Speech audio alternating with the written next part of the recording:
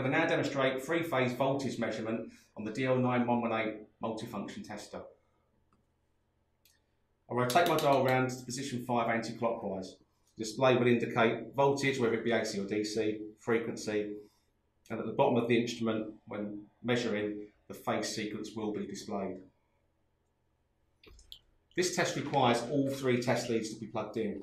At the very top of the instrument, it's very clearly labelled Red is L1, green is L2, and the black is L3.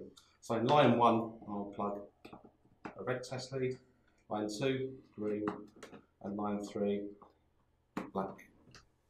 With all, all three test probes in use simultaneously, connect these against or directly into the phases.